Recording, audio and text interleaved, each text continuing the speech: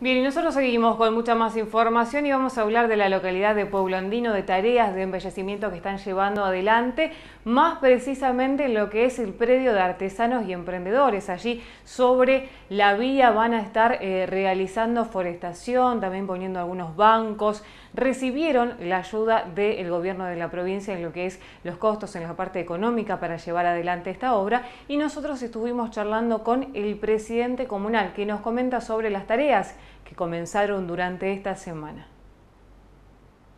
Es un proyecto bastante amplio el que tenemos acá en el Paseo de los Artesanos, o sea, el predio de la vía, eh, donde bueno, ya, ya, teníamos una primera etapa que eran los gazebos de, eh, para que las, exposiciones de los artesanos, que se hizo el primer año, eh, y bueno, y ahora hay un proyecto de, bueno, de hacer toda una, una, especie de paseo para la gente que sale a caminar, bueno, tanto sea para, para hacer ejercicio como para salir a hacer un poquito de creamiento de noche, digamos. Eh, se van a colocar 34 eh, bancos, eh, con, bueno, adornándolas con palmeras, que es lo que se está viendo en este momento de fondo. Llegó el camión con las palmeras y posterior a eso la iluminación, que van a ser faroles de parque, digamos.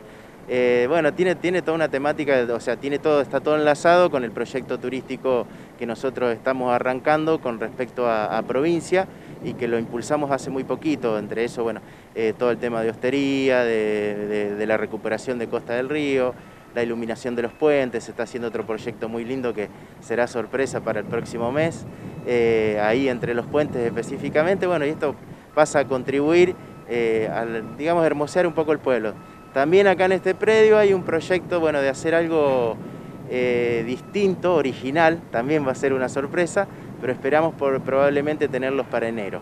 Bien, e, esto se va a realizar, este paseo que estamos viendo ahora, las palmeras, los bancos, eh, ¿se va a realizar con eh, fondos de la comuna o han recibido alguna ayuda del gobierno provincial? Hemos recibido ayuda del gobierno provincial, tiene que ver con un programa que se llama Promudi, eh, son especies de créditos y bueno, había que hacer algo, digamos, con respecto a turismo, bueno, y, enfocamos, nos enfocamos en esto, en otras áreas también, pero hoy estamos específicamente en este predio. ¿Cuántos metros va a tener este paseo?